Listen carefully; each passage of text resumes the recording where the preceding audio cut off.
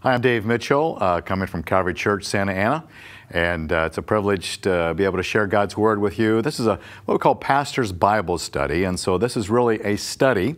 Uh, we dig into the Scriptures. We spend a lot of time reading through the Scriptures and understanding them, and uh, we don't take a lot of uh, tangent trips onto other things, but uh, want us to understand what God has said for us. And so this is a continuation of that, and we call it Learning from the Bible that Jesus used. I love this passage that we start with each time from Luke chapter 24. This would have been uh, really, Jesus would have said this about next uh, week, where he said after the resurrection, he said, These are my words which I spoke to you. While I was still with you, so this is before the crucifixion, Jesus said things to them, that all things which are, here the key, written about me. We're looking into the Old Testament, the passages of the Old Testament, the Hebrew Bible in particular, where Jesus says there were things written about him. We want to discover what are those things that God had written about Jesus in those passages of the law of the Moses, the prophets, and the Psalms, the way the Hebrew Bible is organized today. Jesus, that's the Bible that Jesus used. He would quote from it, for example, like the book of Isaiah. And then he says this to them. He says, Then he opened their minds to understand the scriptures. So I'm not going to pretend to understand everything that Jesus intended by that sentence, but it's very intriguing to consider what are those things in the Old Testament, these wonderful Old Testament books of the law of Moses, the prophets, and the Psalms, the writings, the poetic books. What is it about those books that he would have opened their minds to understand? So that's kind of the premise of how we're going through this. Not so much an Old Testament survey or necessarily a book study of chapter by chapter, but to understand and grasp some of the things that Jesus might have said as it relates to this particular passage and his promise of the things that were written about him. And here is the Hebrew Bible, the way it's organized today. This is the Bible that Jesus would have used and the scriptures that he would have uh, seen in those three sections that he referenced. And today we're going to come to a particular man by the name of Ezekiel. Ezekiel is a unique and very difficult book to understand. Now, in this times, we're living in a pretty tough time. The pandemic, the COVID-19 virus, uh, people are losing their jobs. People, some are losing their lives. Some are terribly sick, and uh, families are going through pretty just distressful times. So to think about studying Ezekiel seems like a little bit of out of uh, ordinary. I hear people quoting Jeremiah. We studied Jeremiah last week. I also hear people quoting Isaiah. This Passion Week, Isaiah speaks about Christ. I don't hear a lot of people quoting from Ezekiel, but I want to show you why even coincidentally, as I've been going through this since last September, we come to Ezekiel at this time of the pandemic and some of the distress that people are experiencing. Let's look at Ezekiel, knowing that in the context in which we live, he can share. He, he would sympathize with us, and I'll show you why that is. So here's some basic things about Ezekiel. In fact, I have an outline that is always, always available to download it from the website, and uh, you will have a lot easier time following along. And a lot of these things I throw on the slide will also be on that handout to help you as we go through this passage, because I know if you're a little bit like me, my mind will tune in and out, and I'll sort of drift, and then I'll come back to it. So the outlines kind of help us stay focused, because we can review those things and remember them from what we've heard. Here's some things about Ezekiel. Ezekiel is a man, uh, he's a prophet, he's a priest. His name means God will strengthen. He served in this period of time that is from 593 BC to 571 BC. And I point that out, not just an historical fact, but what was significant about that time in which Ezekiel lived. Ezekiel lived during the time when the tribe of Judah, the two southern tribes, Judah and Benjamin, were being overrun by the country of Babylon, what we call Iraq and Iran today. They're coming in and totally wiping out the two southern tribes uh, we reference as Judah and it was devastating. In 605 BC, King Nebuchadnezzar came in from Babylon and began to steal away the people and bring them into his land of Babylon. They become exiles, as they're referred to in the scriptures. And one of those that was in 605 BC was Daniel. Daniel was taken back to Babylon and served there to about 85 years old. So he served a long time during Babylon, then Persia when that became the power that overtook Babylon. Then 597 BC, there was another group of people that King Nebuchadnezzar took from Judah. In 597 BC, Ezekiel was taken captive, and he was brought into the land of Babylon. And then in 586 BC, the city of Jerusalem, the temple was utterly destroyed. It was a devastating. It was their 9/11, if you can relate to that. It was complete wipeout of the community. Thousands and thousands of people died, and it was a miserable setting for them. Well, 586 BC, as you can see, is right between 593 and 571. So Ezekiel was living in the land of Babylon. He had been taken against his will as an exile. He's been forced to go to Babylon. And during that time, he hears the devastating tale of the destruction of the city that he loves, the temple in which he would worship, and it's just totally wiped out. So he's going through a very miserable time. It's not a pandemic in the sense that we live through it, but it's a time of great distress and hardship. You might remember the last Wednesday night we went through the book of Jeremiah.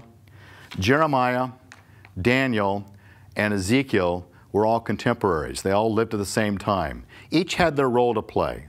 Jeremiah and Ezekiel were prophetic. They were giving out the voice of God.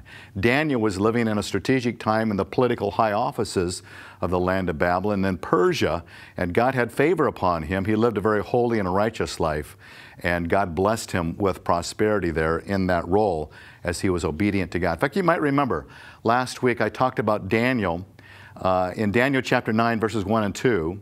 And in Daniel 9, the year is 539 BC. It's there that Daniel reads from the scriptures of Jeremiah. And when he reads Jeremiah, he says, My goodness, this time of exile is about to be exhausted. Because in 536 BC, the 70 years that God had predicted that they would be in exile was about to come to an end. So, because Daniel read in Scripture what God had promised at 70 years, he prayed, God, please, please bring us out of this exile. God heard his prayer and they were delivered from exile. And so the king of Persia, who was Cyrus at the time in 536 BC, actually paid then to have the temple rebuilt. You might recall that.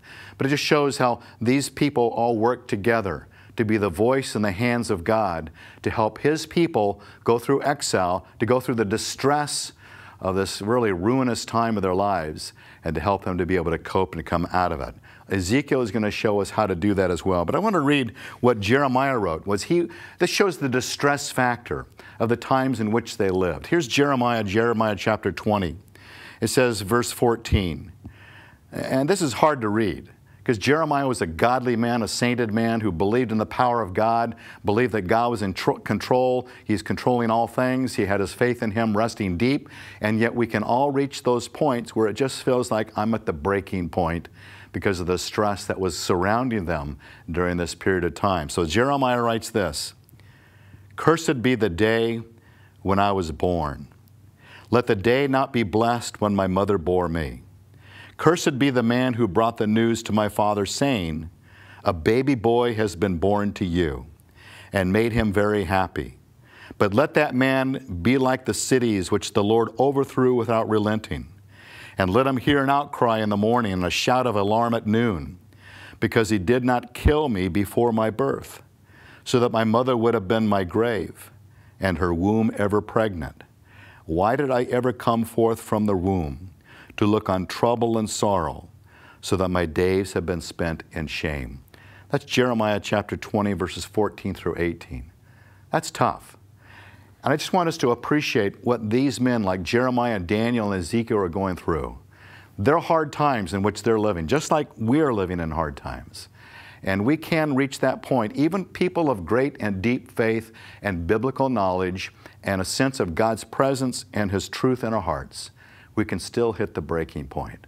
So God understands that. And he, so He gives us these words that, that have high relevance for the times in which we live. Sometimes we don't think about going to Ezekiel as a place of biblical resource but it is a wonderful section of God's truth. So you can see the hardship that Ezekiel and Jeremiah and Daniel were going through, and so therefore it gives a little bit of a context as to how these things are unfolding. So we see these truths, and that's where Jeremiah 20 was in great despair, and he lived amongst the people there in, by, the, by the river. And uh, here's a little map of the area, and this was Babylon in, and then Persia. But right in this area between Iraq and Iran, this little area of the river, uh, that's where they lived. And so they were taken captive from Israel and brought all the way over here. And uh, I have not been to that specific spot, but I know there's lots of section of land there that I have no interest in living in or even touring. And so you can imagine that Ezekiel is living in this place by this river, and it's a very desperate time in which he is living. So here's God's desire. God's desire is that they would know that I am the Lord. This, this phrase is used 60 times in Ezekiel. He repeats it over and over and over again. In fact, there's a lot of repetition in the book of Ezekiel because he says, I'm not here to punish you. I'm not here to make your life miserable as you go through this time of captivity and exile. I simply want you to know me. And that's what God's inviting us into. In fact, the passage we're going to look at today or tonight is all about knowing God better.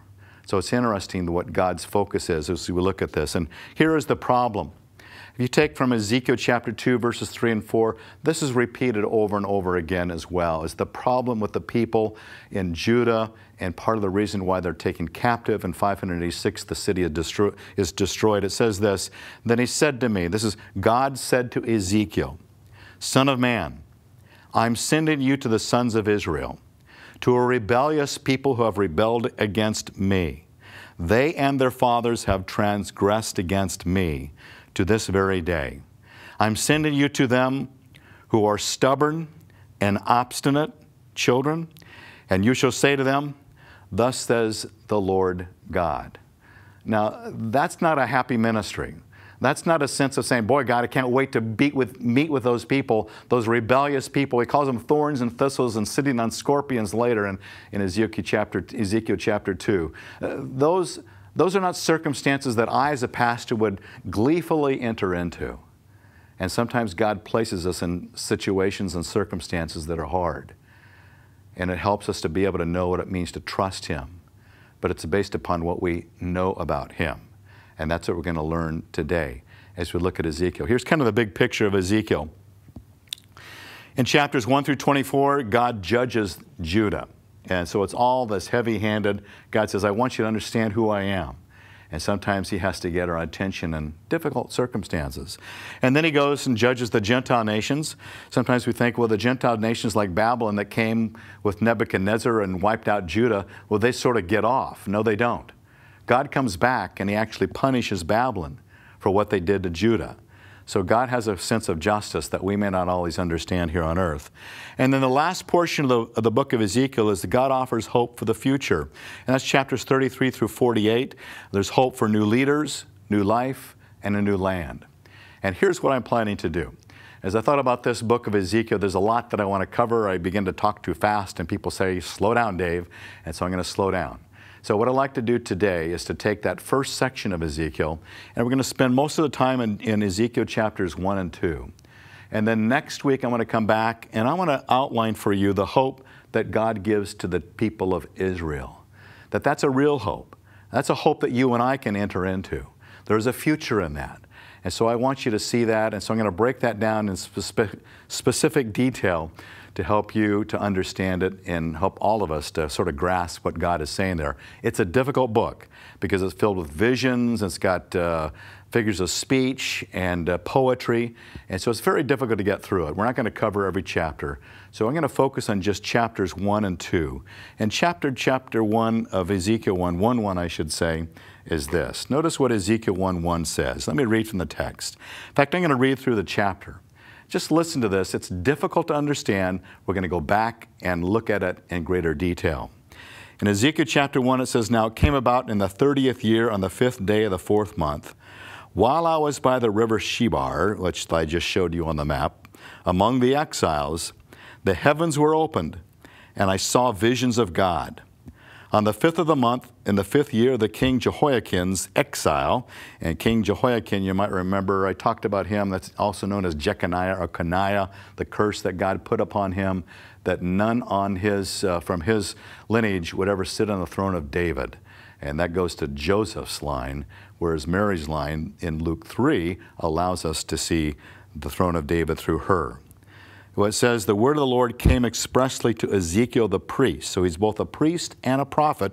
He's about age 30, and that's when the priest would typically begin their ministry. He is the son of Buzi in the land of the Chaldeans, which is another way of saying Babylon, by the river Chebar, and there the hand of the Lord came upon him. And this is what God reveals to him. This is perhaps maybe the most difficult chapter in the Bible So listen as I read, and you might read along in your own Bibles as well. If you have, might have a different translation, sometimes you hear different things as well.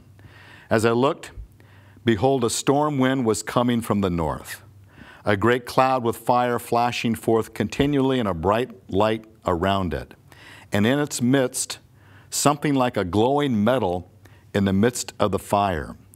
Within it, there were figures resembling four living beings, and this was their appearance. They had human form. Each of them had four faces and four wings. Their legs were straight, and their feet like, like calves' hoof, and they gleamed like burnished bronze. Under their wings on the four sides were human hands. As for the faces and the wings of the four of them, their wings touched one another. Their faces did not turn when they moved, and each went straight forward. As for the form of their faces, each had the face of a man. All four had the face of a lion on the right, and the face of a bull on the left, and all four had the face of an eagle. Such were their faces. Their wings were spread out above. Each had two touching one another being, and two covering their bodies, and each went straight forward. Wherever the Spirit was about to go, they would go, without turning as they went. In the midst of the living beings, there was something like that looked like the burning coals of fire, like torches darting back and forth among the living beings. The fire was bright, and lightning was flashing from the fire, and the living beings ran to and fro like bolts of lightning. Now, as I looked at the living beings, behold, there was one wheel on the earth beside the living beings for each four of them. The appearance of the wheels and their workmanship was like sparkling beryl.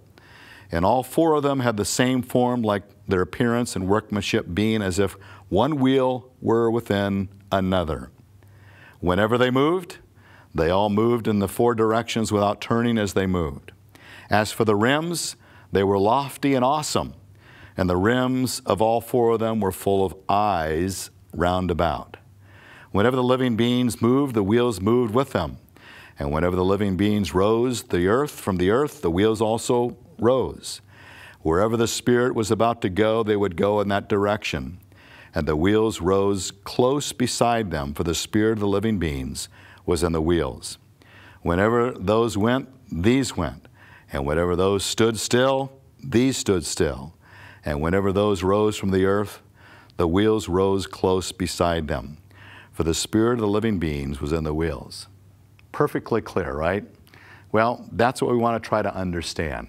Very difficult. Why in the world does Ezekiel begin his book with something that is almost impossible to understand? Well, here is what I believe Ezekiel is giving to us, to you and me, even to this day, even with the circumstances in which we live here all around the world. God has commissioned Ezekiel to go out there and be a servant of His, to be a prophet, to be a priest. So as He sends them out, what God says to Ezekiel is, I want to reveal to you who I am. I want you to know me before you go out and know the people. I want you to know me before you go out and share God's truth to the people. So it's important that when we go through difficult circumstances, we have faith in someone who is a living being, who's revealing himself to us, who is somehow helping us to understand him a little bit better, even as difficult as that may be, so that we always have a foundation of faith in an Almighty God that has revealed himself, that is presently with us to help us to go through that experience. Without that foundation, we live in a pretty, you know, what Jesus might say is on sand, sandy soil, where there's nothing you can build your life upon that.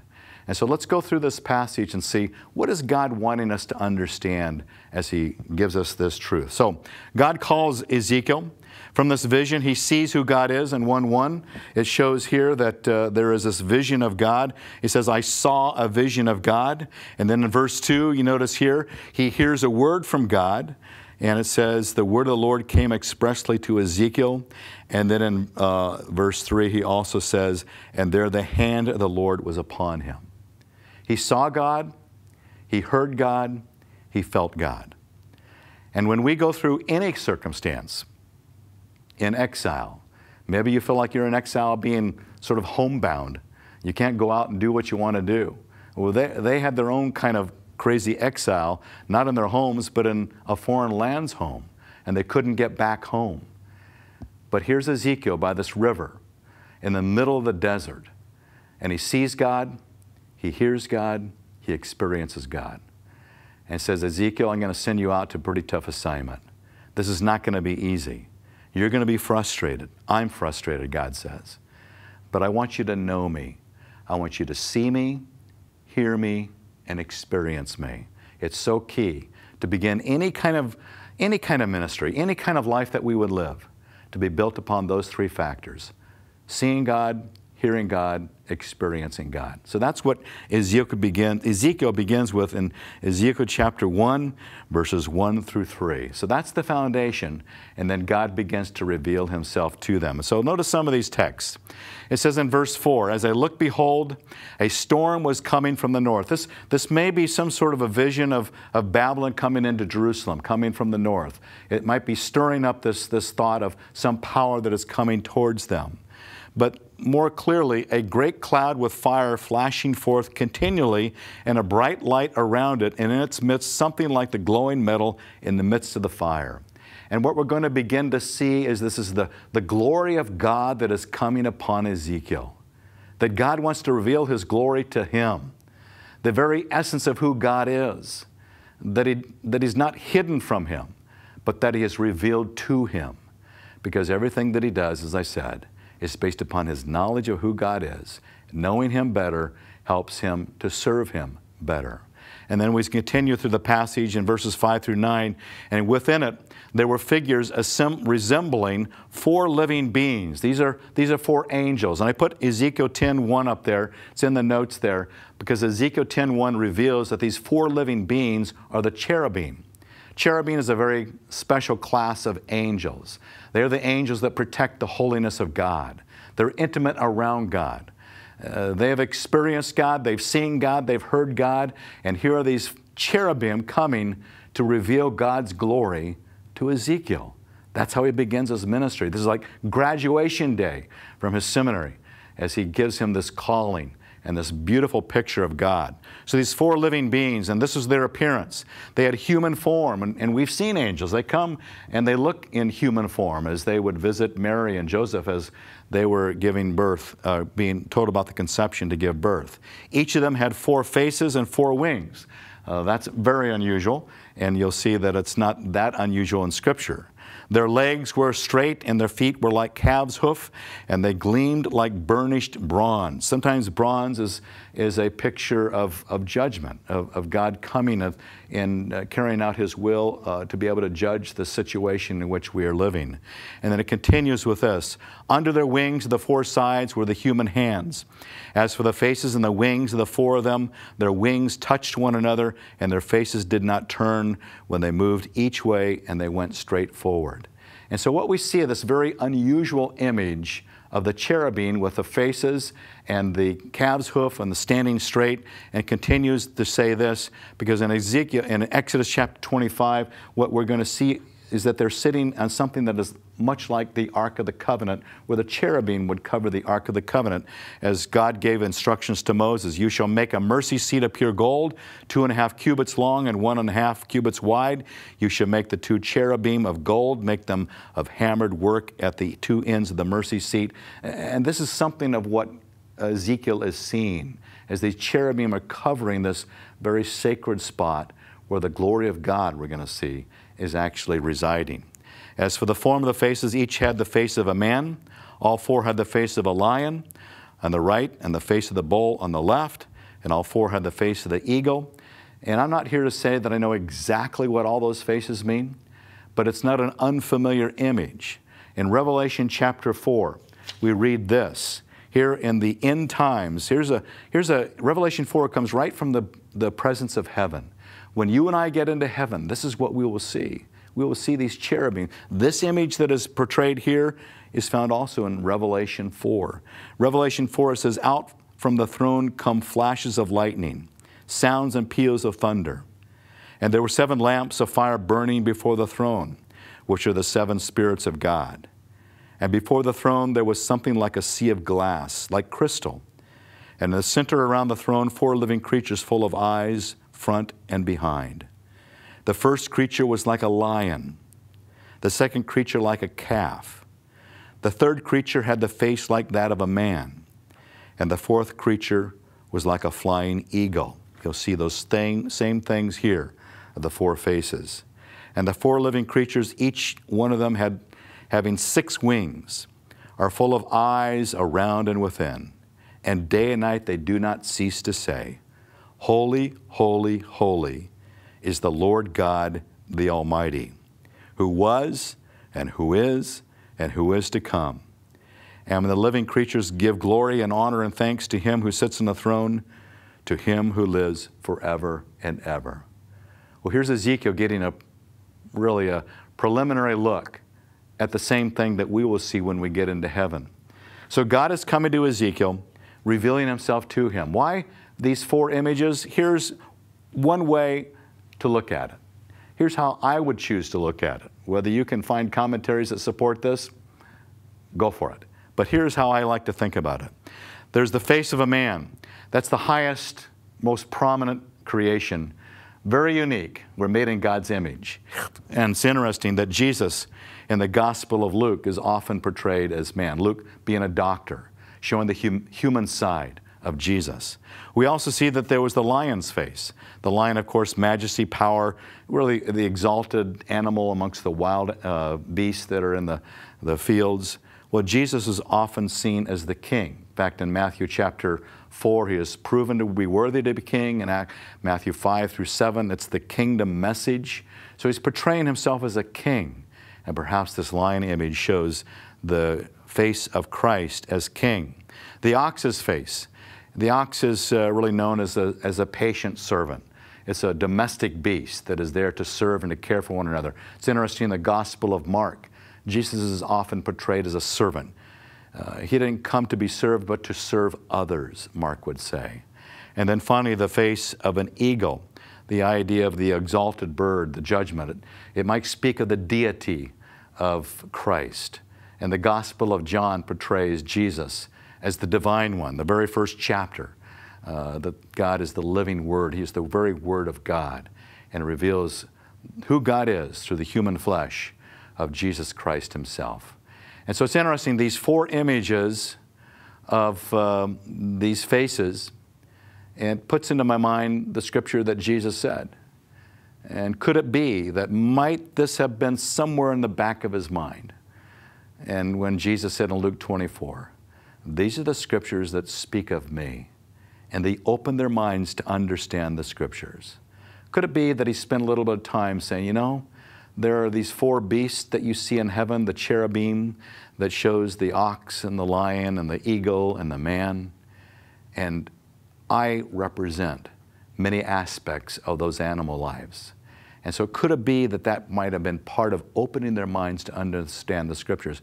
Or could it be that someday when we get to heaven, we can ask the Father, What did you mean by those four faces? And it might enlighten us the depth of understanding of all that God intended for us to see in His Son, Jesus Christ. So that's something we have something to look forward to. Going on the passage, it says, Now as I looked at the living beings, behold, there was one wheel on the earth beside the living beings for each of the four of them.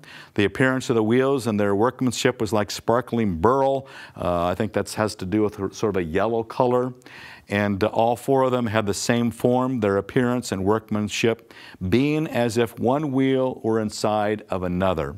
And whenever they moved, they moved in and out of the four directions without turning as they moved. As for their rims, uh, they were lofty and awesome, and the rims of all four of them were full of eyes round about. Now, I'd like to show you an image that was created. Some time ago, maybe about 24 years ago. I actually taught through this passage here. And uh, one of our members here at Calvary Church, Kevin Davidson, as I preached that passage, Kevin Davidson was on the main floor drawing it out. And so here is what he came up with, and I love this thing. You can see this image, and uh, we're going to be talking more about the glory of God that's up here. Here are these four rims with the eyes all around, and, and it says that they were the sort of the green color as it's described there. And uh, here are the wings and the four faces that are on the various cherubim that are located there with the lightning and the thunder that is going out there. So it gives maybe just a little bit of a sense as to what Ezekiel was seeing. But you know, it's, when it's lived out in 3D or 4D, and uh, you got that crystal clear color of, of God coming down to earth to reveal himself to Ezekiel, that's pretty powerful. In fact, we'll see that Ezekiel just bowed before God. He, he couldn't remain there. So this is a beautiful image. I keep this image above my desk in my office. And it's always great to look up there and kind of remind myself what, what God wanted Ezekiel to know. That no matter what you go through, I want you to know me and how great and powerful I am. Don't, I, I don't want to ever bring God down to my size, sort of put him in my box of my understanding. I want him to always be a little bit mysterious. I don't quite understand everything about him. Because if I understand everything about God, then I'm beginning to think maybe I'm as good as God, but I'm not. I don't know what he knows. I can't predict what he predicts. I don't know the future, but He does. So I want to rest in the glory of who God is and trust that He is a mighty, wonderful, powerful God that when we go through pandemics or you go through exile like Ezekiel, He's someone we can trust in. So that gives a little bit of an image of who God is. As the passage goes on, it says, whenever those, those went, the wheels, these went, whenever those stood still, these stood still, the Spirit of God is moving moving in all these directions. And whenever those rose, they rose from the earth, the wheels rose close beside them, for the spirit of the living beings was in the wheels. And there came a voice that from above the expanse that was over their heads, and whenever they stood still, they dropped their wings. They dropped their wings in reverence before God. When the voice of God comes, and sometimes it, it comes like thunder, these cherubim knew God better than we know God and they had reverence for him and they would bow before him. So the wheels, it would move but never turn directions to show that God is mobile. God is going wherever he needs to go. God is doing whatever he needs to do. There's eyes around the, the wheels of the rims that God can see everything. He knows everything. He is everywhere. He is moving wherever is needed for him to be. This shows the power of God the omnipresence. He is everywhere. The omniscience, the, the knowledge of God. He sees everything. I give you a couple of passages of, of Chronicles in the outline that shows the eyes of God to help you understand that. And then Ezekiel 126, now above the expanse. This is, the, this is high above the, the earth. It talks about the expanse in Genesis of, of all that God's creation had. That there was over their heads, there was something resembling like a throne, like a lapis lazuli, which is sort of a, I believe, a blue color in appearance. And on that which was resembled a throne, high up, was a figure with the appearance of a man. And now Ezekiel is getting a vision of God. Now, God is a spirit, but sometimes there's this image of God as a man. I sometimes we even wonder when he sees this image, is it, is it perhaps what we call sometimes the pre incarnate Christ, the image of Jesus in heaven? But this truly appearance seems to be that of the Father, but has this human appearance that he takes on to reveal it to Ezekiel and that he noticed from the appearance of his loins and upwards something like glowing metal that looked like fire all around within it. And from the appearance of his loins and downward, I saw something like fire, and there was radiance all around him. This is the glory of God. Goes on to say this And as the appearance of the rainbow in the clouds on a rainy day, so is the appearance of the surrounding radiance. Such was the appearance of the likeness of the glory of the Lord. And when I saw it, I fell on my face and heard a voice speaking. And that's Ezekiel 2. Let's just stop there. Think about that. What he's seeing is the glory of God. Now think about Christ. We're, this is Passion Week. Christ tomorrow is his last supper with his men. And then on Friday, he is crucified. Then on Sunday, of course, he rises again. And he's got that beautiful, glorious body, that perfect body that someday we want to have but he's still not glorified. You know, when Christ came to earth and became a little baby, Philippians chapter 2 tells us that he, he put aside the glory of heaven. He put aside the radiance of his glory so that he could take on the form of a human being, a bondservant, it says. He put aside the form of God, the glory of God, and took upon himself the form of a bondservant. Now Jesus is back in heaven. And once again, he has the glory of God all around him. He's a radiant glory that uh, someday we will appreciate. So you can see how much Jesus gave up. We're going to get into Isaiah in a couple of weeks. And it says there in Isaiah 53 that he had no appearance that was very appealing. So he took on this bondservant form and gave up this beautiful, glorious radiance where it caused Ezekiel to fall on his face and bow before him. It caused the cherubim to fall before him and bow before him in humility and submission. And when he came to this earth, those who were the scholars of biblical truth, they didn't do that to Jesus because they didn't see the glory of, that was in the person of Christ. Christ humbled himself by giving up this glory. And here's the Father revealing that glory to Ezekiel. So before Ezekiel goes out on his mission, God says, I want you to see who I am. I want you to be overwhelmed by who I am. And that's the beauty of worship. That, like Ezekiel, he fell on his face and heard a voice speaking. That we bow before God, to have a sense of the glory of God, the power of God, the radiance of God, the beauty of God, the, the, the mystery of God, that there's so much about this we don't understand but that God is revealing a little bit of a glimpse of who He is.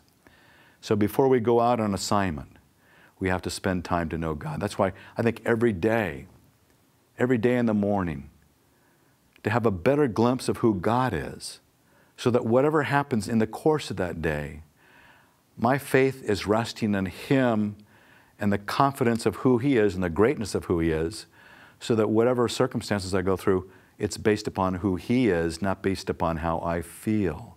Because we're going to have hardships, like Jeremiah in Jeremiah 20, where He says, Cursed be the day I was born. There will be difficult days. But God says, I want you to trust me and how great I am. I love this, this humility that He has. He heard the voice. It's interesting that the glory of God, as I mentioned about Jesus, if you read in Revelation chapter 1, you can see the glory of Christ in heaven the beautiful radiance of who he is and the image that, that John had in the Revelation of 1. In Revelation 19, Christ is going to come back and is com- he's coming back in radiant glory. He's not going to be riding a donkey. He's going to be riding a stallion and come back to take this earth to be his own and to rule in his kingdom. In Colossians 2:1, all the fullness of God was in Jesus Christ. So all that glory of God was in Christ when he was in heaven. And he never lost any of his deity when he came here to earth. And then in Matthew chapter 17 is that great passage, what's called the Mount of Transfiguration, where Jesus revealed some of that glory that we see in this image here of Ezekiel 1. He revealed some of that glory to his three closest disciples. And uh, Peter says, Man, we, we should build a tabernacle to you. We, we should bow. This is, this is amazing. And uh, I don't know they fully understand it. I'm not sure I fully understand it. But there was a little glimpse of the glory of Christ that was revealed to the uh, closest disciples that he served with. So let me, let me sum up some of these thoughts. We must have a vision of God in our hearts before we attempt to be on a mission for God. If we don't have a vision of who God is and the greatness of who He is, we might be in trouble.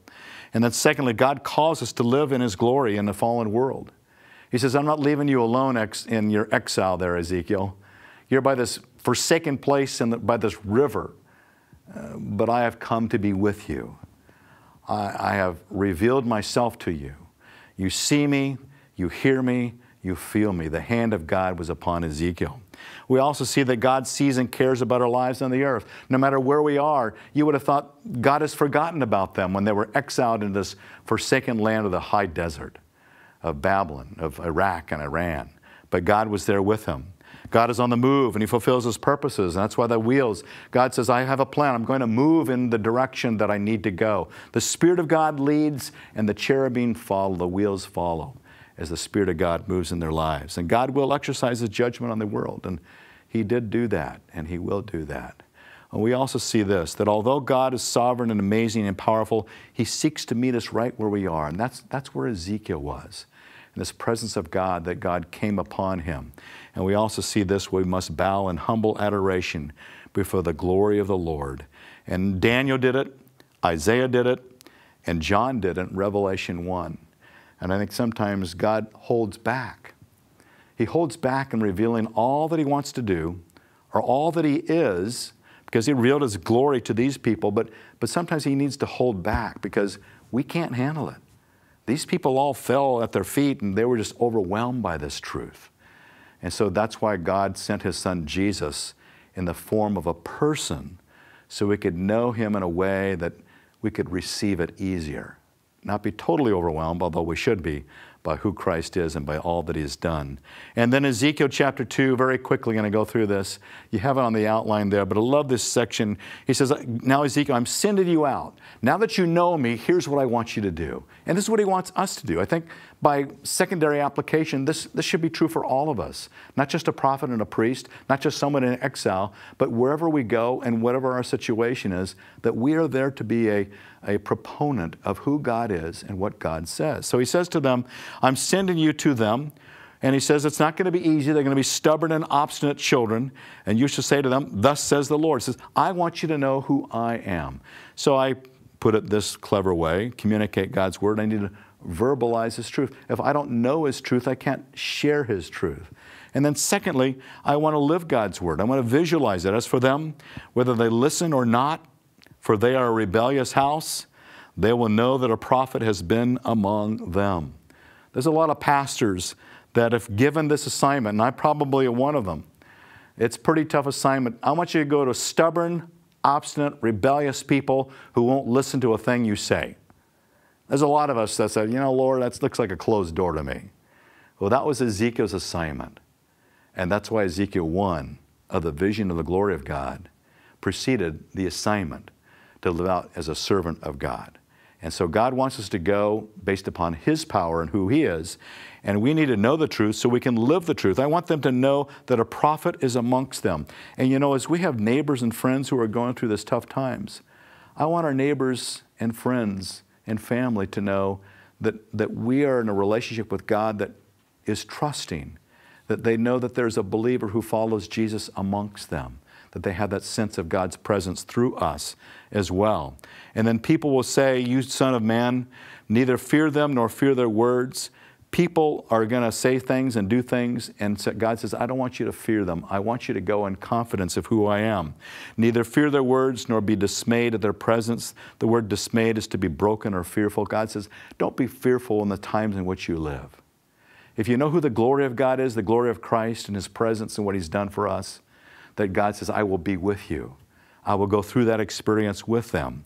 It doesn't matter what the circumstances are. God says, Ezekiel, I'm with you. My power has been revealed to you. And then finally, don't be tempted to do what they do or be falling into the trap of the circumstances of those things that are out there. But let me wrap up with this. And next week, we'll talk about the future hope. It's interesting that Jeremiah said this. There's a lot of people like love to quote this passage. It's a wonderful passage. In fact, we have a, an image of this in our artistic rendering in our house that is hanging there. Jeremiah says this, For I know the plans that I have for you, declares the Lord. And this is to Judah. And this is as they're being taken in exile. So the same circumstances of Ezekiel, Jeremiah, the one who says, Cursed be the day I was born, because I'm being beaten up and thrown into a cistern and people are, are rejecting me. Jeremiah was living a tough life. But Jeremiah also knew this at the latter part of his book. For I know the plans that I have for you, declares the Lord plans for welfare and not for calamity, to give you, and I love this, a future and a hope. I keep hearing that a lot today. We need to have a hope, a hope that God is still in charge.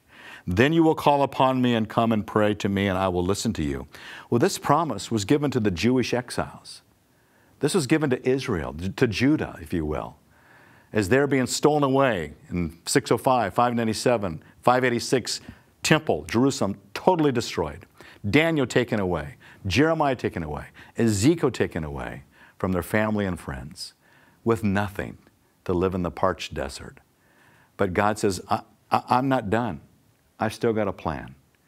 And we love to take that passage and apply it because God is still the same God. I say, no matter what we're going through, like the Jewish people, today, God, you still have plans. You still have a future yet. You have a future and a hope. And with this Passion Week of Christ and the resurrection, that with the resurrection power that we have experienced, that they had not, that's beautiful. That God says, I still have a power that is available for you, that resurrection power, that I want to equip you for every good work and be with you in mighty and powerful ways. So as Ezekiel was commissioned and Jeremiah promises a hope that we can have a hope as well. And next week I'll show you what that hope will look like. And this is what I love about this empty grave that the women came in Luke chapter 24. The women came like Mary Magdalene. They came to the grave and they found it was empty. They couldn't figure it out. Some angels show up. They're terrified of the angels. I would be too. I don't expect to see angels when I come to a gravesite. But there the angels were. And I love these words of the angels. Well, they said, He is not here, Jesus, but He is risen. And then I want to highlight in yellow these words Remember how He spoke to you while He was still in Galilee, saying, The Son of Man must be delivered into the hands of sinful men and be crucified, and the third day rise again. And they remembered His words. This is all about a Bible study on Wednesday nights. It's all about remembering God's words. That the words of God would stir my heart to know that there is a future and a hope. And when these women remembered, oh, yeah, he, he said that, now I understand it better. The more I know what Jesus said, the more I remember what Jesus said, and the more comfort I have that, yes, there is a future and a hope. And that's the message of Ezekiel. We'll look at that future and look at that hope next Wednesday night. I invite you to join us once again. So let me pray for us that God would bless and provide for us even this special week as we remember this that He is not here, for He is risen. Let me pray. Father God, we thank you for the life of Christ, that He went through a miserable death as well for us. He died in our place to pay for our sins. And as we put our faith and trust and believe in Him and repent, God, He will forgive us and that we can have that future and that hope in our lives as well. Lord, help us to remember your words like these women, because that helps us to know that, yes, no matter what, there is a future and a hope that we can rest in as well. So thank you for it all. In Jesus' name I pray. Amen. See you next week.